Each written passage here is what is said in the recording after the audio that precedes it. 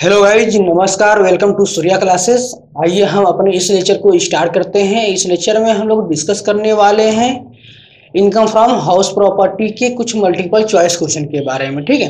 तो हमने पिछले लेक्चर में क्वेश्चन नंबर थर्टी तक डिस्कस कर लिया था। आज हम स्टार्ट करने वाले हैं क्वेश्चन नंबर थर्टी वन से। देखते हैं थर्टी वन हमसे क्या कह रहा है पहले। Mister X owns a house property which has fair rent of rupees one lakh twenty thousand rupees standard rent दिया है, one lakh rupees and actual rent हमको दिया गया है, एक लाख पच्चीस हज़ार रुपये। Municipal tax paid by during the previous year 1819 for the past ten years is rupees one lakh fifty thousand rupees net annual value क्या होगा? नेट एनुअल वैल्यू हमसे पूछा गया है नेट एनुअल वैल्यू क्या होगा? पहले हम ग्रॉस एनुअल वैल्यू कंप्यूट करते हैं, फिर उसके बाद हम नेट एनुअल वैल्यू कंप्यूट करेंगे, ठीक है? तो पहले ग्रॉस एनुअल वैल्यू हम कंप्यूट करते समय क्या क्या करते हैं? पहले हम देखते हैं फेयर रेंट फेयर रेंट का कंपेरिजन करते हैं म्यूनिसिपल वैल्यू से, ठीक है? तो म्यूनिसिपल वैल्यू कहाँ दिया गया है? इसमें दिया गया है म्यूनिसिपल वैल्यू चलिए, इसमें म्यूनिसिपल वैल्यू नहीं दिया गया है। तो फेयर रेंट और म्यूनिसिपल वैल्यू में जो हायर होता है, उसे हम एक्सपेक्टेड रेंट मान लेते हैं। तो वो हमारा हो जाता है हायर हायर कौन है?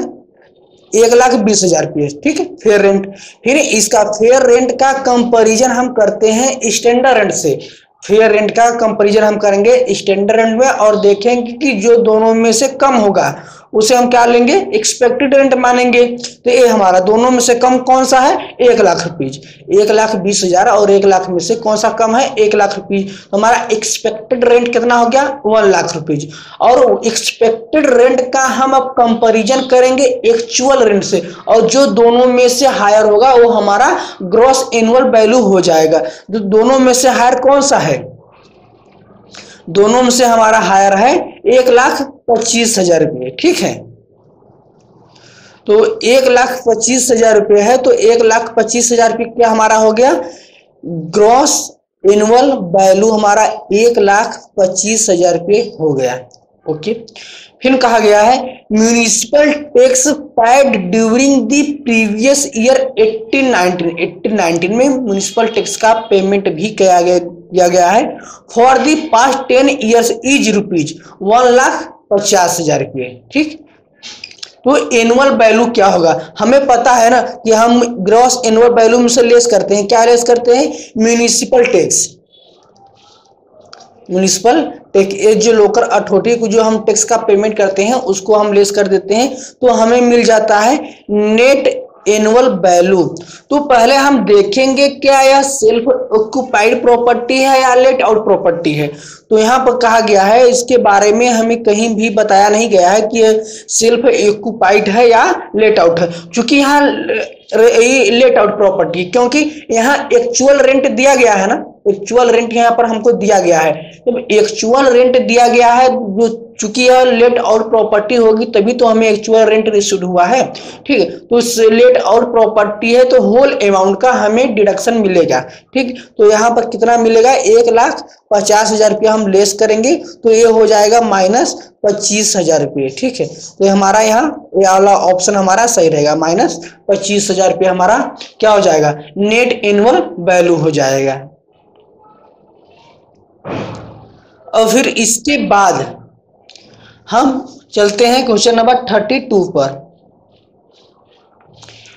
A house property whose fair rent is rupees one lakh पचास हज़ार रुपये ठीक? Is vacant throughout the previous year municipal tax paid for the house property are rupees बीस हज़ार is its net annual value क्या होगा? इसका एनुअल वैल्यू क्या होगा? कहा गया है कि एक हाउस प्रॉपर्टी है, जिसका फेयर रेंट एक लाख पचास हज़ार रुपये है। Is vacant throughout the previous year previous year में वह होल ईयर क्या होगी वेकेंट ही रही वैकेंसी ही रही उसकी। ठीक है?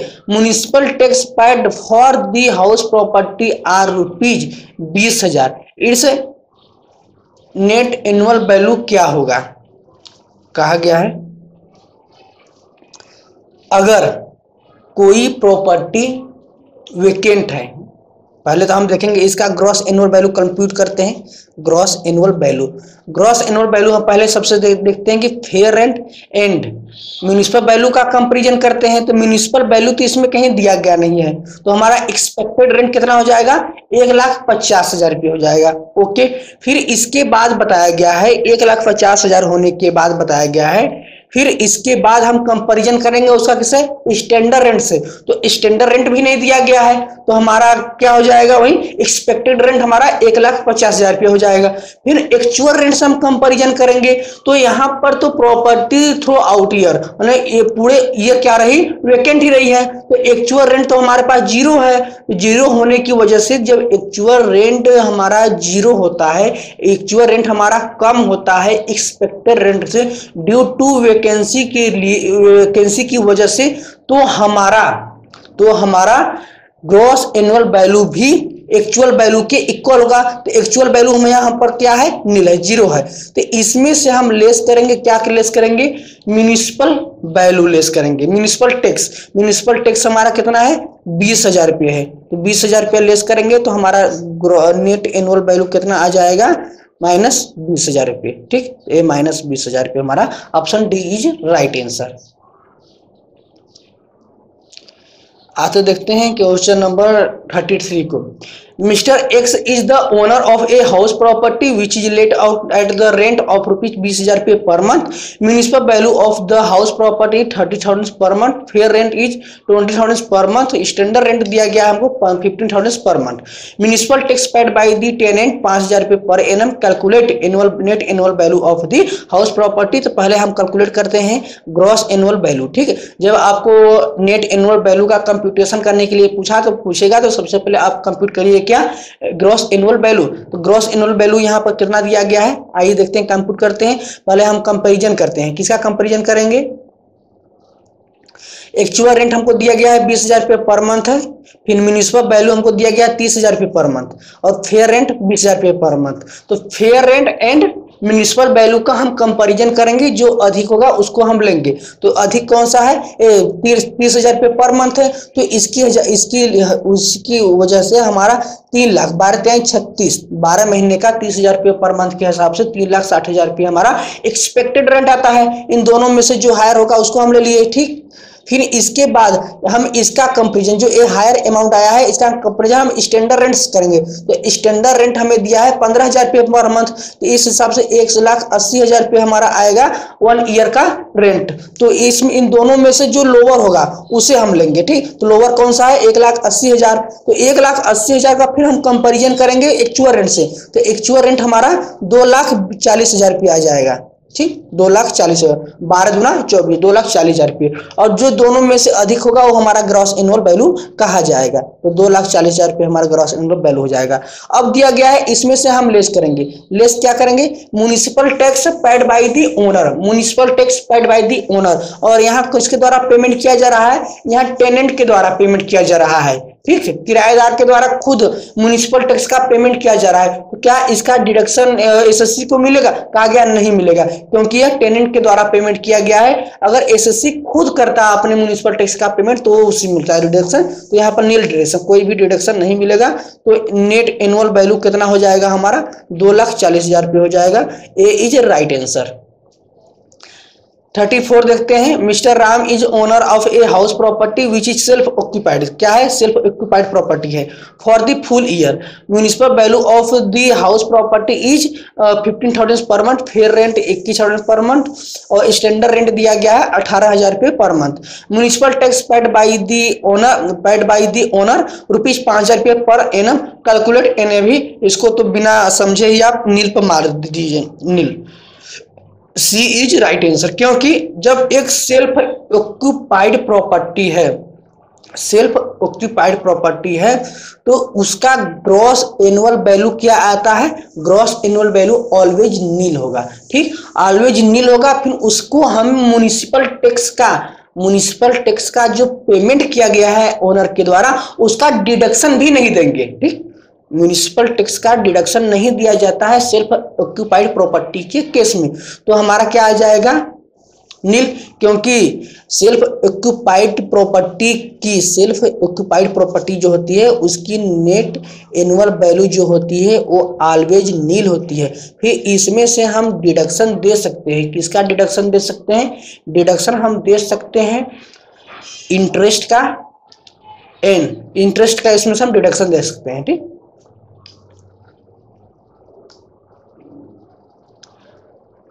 थर्टी फाइव देखते हैं। थर्टी फाइव बता रहा है। Deduction for the interest on capital borrowed in covered under section twenty four B. ठीक? ट्वेंटी फोर में कवर किया जाता है। ट्वेंटी फोर हमें डिडक्शन बता, डिडक्शन के बारे में बताता है। ट्वेंटी फोर ए हमें स्टैंडर्ड डिडक्शन बताता है, जो कि thirty percent on net annual value पर होता है। और ट्वेंटी फोर बी हमें बताता है डिडक्शन ऑफ़ इंटरेस्ट इंटरेस्ट के ऊपर जो डिडक्शन दिया जाता है, वो बताता है, ठीक? तो डिडक्शन जो कैपिटल बारोड किया गया है, उस पर डिडक्शन हमें मिलेगा, उसके इंटरेस्ट का डिडक्शन हमें मिलेगा under section twenty four B के। थर्टी सिक्स बता रहा है if annual value of let और house property is negative then which deduction shall be allowed under section twenty four B अगर बता रहा है कि if annual value if net annual value अगर क्या हो जाए लेट आउट प्रॉपर्टी का निगेटिव हो जाए तो उसके बाद हमें डिडक्शन सेल भी अलाउड किया जाएगा। किसका अलाउड किया जाएगा? कहा गया है? ट्वेंटी फोर बी इंटरेस्ट का डिडक्शन अलाउड किया जाएगा। अगर नेट एनुअल वैल्यू निगेटिव हो जाएगा तो भी। थर्टी सेवन देखते हैं।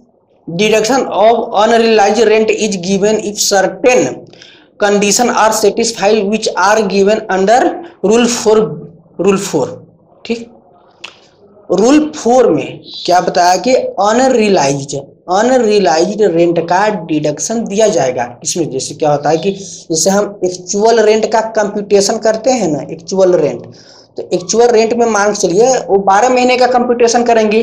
लेकिन अगर टेनेंट ने हमको आठ महीने का रेंट दिया, आठ मंथ का रेंट दिया है, जो कि और ट्वेल्व फोर मंथ का रेंट नहीं दे रहा है क्योंकि अनरिलाइज रेंट है और एसएससी क्लेम कर रहा है इसके डिडक्शन के लिए कि हमको फोर मंथ का एक्चुअल रेंट नहीं मिला हुआ है, ठीक? तो कहा गया है, आपको अनरिलाइज रेंट का डिडक्शन दिया जाएगा, इस, इसमें से, ठीक? इसका फोर मंथ का आपको डिडक्शन मिलेगा। इस, लेकिन अगर आप फोर रूल फोर में जो कंडीशन दिए गए हैं, अगर आप उसको सेटिस्फाई करते हैं तो रूल फोर में कंडीशन क्या दिए गए हैं कि जो टेनेंसी होनी चाहिए, वो बोनाफाइड होनी चाहिए, वो उचित होनी चाहिए, ठीक? और अगर आप अनरिलाइज रेंट का क्लेम कर रहे हैं तो जितने भी लीगल प्रोसीडिंग होती हैं, उसको रिकवर करने के लिए आप सभी लीगल प्रोसीडिंग कर चुके होने चाहिए, ठीक? और जो आपका टेनेंट है, जो कि आपको रेंट नहीं दे रहा है, वो आपकी, आपको उसको अपने प्रॉपर्टी में से, अपने मकान में से बाहर निकाल देना चाहिए, ठीक? है और आप अपनी किसी दूसरे मकान में या दूसरी बिल्डिंग में उसे आप नहीं रखेंगे। इस तरह के फोर कंडीशन बताए गए हैं। अगर आप उस कंडीशन को सेटिस्फाई करते हैं तो अनरिलाइज रेंट का आपको डिडक्शन मिलेगा। Thirty eight mister PC took loan from a bank of rupees ten lakh ten lakh का लोन लिया गया है मिस्टर पीसी के द्वारा। और एक एक एक ग्यारह दो हज़ार पंद्रह को। एक नवंबर 2015 को ये दस लाख रुपए का एट परसेंट पर एनएम की रेट से लोन लिया गया है। किसके पर्पज से? Construction of the house which is self occupied which is self occupied construction of the house got completed on 15 March 2019 construction complete हो रहा है। 15 मार्च 2019 को कंप्लीट हो रहा है। Compute interest allowed at deduction under section 24 B for assessment year 1920 एक question हमारा कुछ लॉन्ग है। देखते हैं, आइए इसको सॉल्व करते हैं। कहा गया है। यहाँ पर ध्यान दीजिए। एक ग्यारह दो हज़ार पंद्रह को लोन लिया गया है, कितने? दस लाख रुपए का। इसका पर्पज क्या है? कंस्ट्रक्शन करना है बिल्डिंग का बनवाना है, ठीक? और इस वक्त जो रेट ऑफ़ इंटरेस्ट है, वो आठ परसेंट पर एनम के रेट से चार्ज किया जाएगा। तो पहले हम तो क्या करते हैं, अगर एक मकान बनवाने के लिए कोई एसएससी लोन लेता है तो उस पर कंप्यूटेशन हम कैसे करते हैं? जो प्रायर पीरियड इंटरेस्ट होता है, जो कंस्ट्रक्शन करवाने से पहले का इंटरेस्ट आता है उस कैपिटल पर तो उसका हम कंप्यूटेशन अलग करते हैं और आफ्टर कंस्ट्रक्शन करवाने वाले प्रीवियस ईयर का और उसके बाद वाले प्रीवियस ईयर का हम कंप्यूटेशन अलग तरीके से करते हैं। तो आइए देखते हैं, पहले हम इसको दो पार्ट में बांटते हैं। प्री प्री कंस्ट्रक्शन इंटरेस्ट हम मान लेते हैं। ठीक है इंटरेस्ट और पोस्ट कंस्ट्रक्शन इंटरेस्ट दो इंटरेस्ट को हम दो पार्ट में पहले डिवाइड करेंगे, क्योंकि जो प्री वाला इंटरेस्ट होता है, उसको हम फाइव इक्वल इंस्टॉलमेंट में हमको डिवाइड करना पड़ेगा, ठीक? तो इस प्री प्री इंटरेस्ट वाले में हम कब से कब तक की पीरियड लेंगे? हम लेंगे एक ग्यारह दो हज़ार पंद्रह से लेकर एक ग्यारह 2015 से लेके फिर उसके बाद हम कहाँ तक लेंगे? कंस्ट्रक्शन कब कंप्लीट हो रहा है? कंस्ट्रक्शन 15 तीन 2019 में, यानी प्रीवियस ईयर 2018 19 में कंप्लीट हो जा रहा है। 15 तीन 2019 किस प्रीवियस ईयर में आएगा? वो 18 19 में ही कवर होगा ना, क्योंकि प्रीवियस ईयर 18 19 कब स्टार्ट होगा? एक अप्रैल 2018 से 31 मार्च 2018 तक जाएगा। यहाँ पे 15 मार्च ही है तो इसी, यानी इस प्रीवियस ईयर 18 19 में ही कवर होगा। यानी प्रीवियस ईयर 18 19 में मकान बनकर तैयार हो जा रहा है। तो प्रीवियस ईयर 18 19 का हम इंटरेस्ट कंप्यूट नहीं करेंगे प्री इंटरेस्ट वाले में, ठीक? है इस वाले में हम उसको नहीं लेंगे। यानी हम कब तक लेंगे? एक सॉरी इकतीस तीन 2018 तक का हम इंटरेस्ट लेंगे इसमें। यानी इकतीस तीन 2018 तक का इसमें इंटरेस्ट लिया जाएगा। उसके बाद वाला ये पोस्ट में चला जाएगा, ठीक है? तो आइए देखते हैं इतने पीरियड का इंटरेस्ट कितना होता है। ये नवंबर में लिया गया है तो आठ चूँकि दस लाख रुपये हमारा लोन का अमाउंट है और आठ परसेंट के रेट से हम इंटरेस्ट चार्ज कर रहे हैं। यानी एक महीने का कितना आएगा? चलिए कंप्यूट कर लेते हैं। आठ हज़ार आना चाहिए। चलिए तो 10 परसेंट, दस लाख का 8 परसेंट के रेट से एक वर्ष का आएगा अस्सी हज़ार रुपये, ठीक? अस्सी हज़ार रुपये आएगा वन ईयर का। तो इसको हम 12 से डिवाइड करेंगे क्योंकि हमको पहले तो ही, दो मंथ का चाहिए, ठीक है? तो 80 को हम डिवाइड कर देते हैं।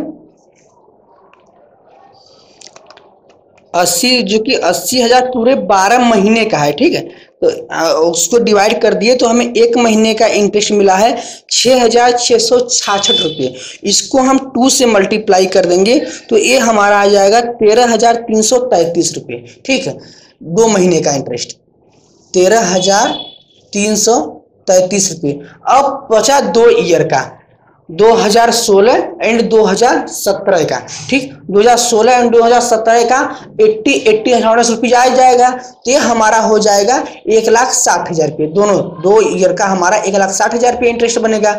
अब फिर हम तीन महीने का कंप्लीट कर देते हैं, जनवरी, फरवरी, मार्च। जनवरी 2018 जनवरी दो, फरवरी 2018 एंड मार्च 2018 कितना आ जाएगा? तीन महीने मतलब ये हो जाएगा हमारा प्लस छ हज़ार छः सौ छियासठ पे और ऐड कर देते हैं हम ये आ जाएगा हमारा उन्नीस, करीब ये हमारा बीस हज़ार रुपया और आ जाएगा, ठीक है? बीस हज़ार रुपये, लमसम अमाउंट आ जाएगा। तो एक टोटल अमाउंट कितना हुआ? एक लाख साठ हज़ार, एक लाख अस्सी हज़ार, एक लाख नब्बे, एक लाख तिरानवे हज़ार तीन सौ तैतीस रुपये, एक लाख तिरानवे हज़ार तीन सौ तैतीस रुपये, एक लाख तिरानवे हज़ार तीन सौ तैतीस रुपये, ये हमारा हो गया। तो एक लाख तिरानवे हज़ार तीन सौ तैतीस को हम डिवाइड कर देते हैं किससे? फाइव इक्वल इंस्टॉलमेंट में, ठीक? तो अड़तीस हज़ार छ सौ छाछठ रुपये आएगा, ठीक? वन इंस्टॉलमेंट हमारा कितना आएगा? अड़तीस हज़ार छ सौ छाछठ रुपये का आएगा। अब प्री अब पोस्ट वाला हम देख लेते हैं। तो इसमें एक वन ईयर का और ले लेंगे हम तो अस्सी हज़ार रुपये वो हमारा हो जाएगा। अस्सी हज़ार रुपये, ठीक? क्योंकि कहाँ से कहाँ तक लेंगे हम?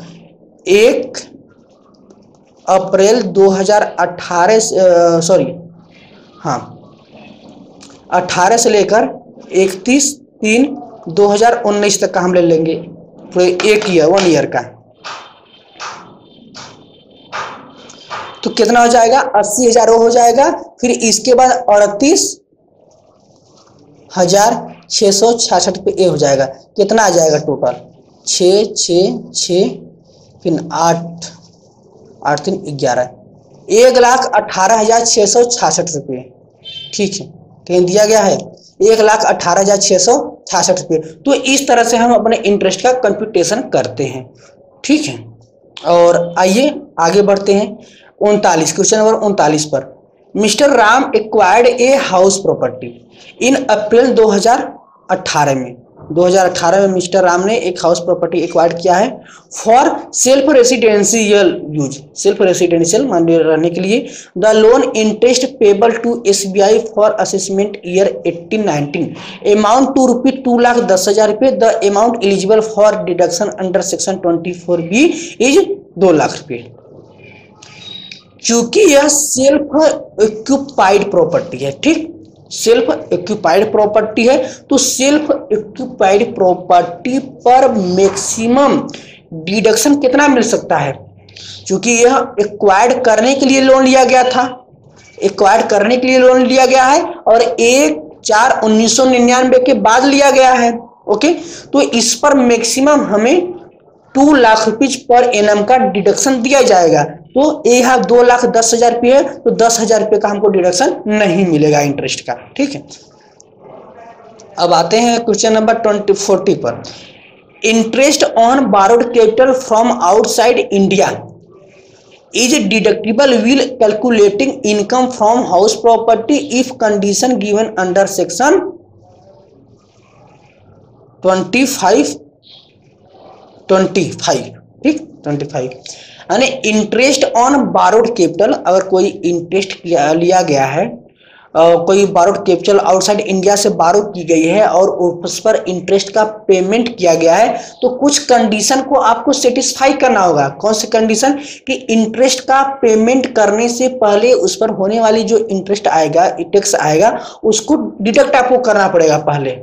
ठीक? अगर आप उस पर डिडक्ट डिडक्ट एट सोर्स जो होता income tax deducted at source अगर आप जब करेंगे तभी आपको उस इंटरेस्ट का डिडक्शन मिलेगा, अन्यथा नहीं मिलेगा, और वो कहाँ दिया गया है? वो सेक्शन 25 में दिया गया है। तो हम अपने इस वीडियो लेक्चर को यही एंड कर देते हैं, और अगले वीडियो लेक्चर में हम अगले क्वेश्चन को डिस्कस करेंगे। तब तक के लिए thank you thank you for watching my video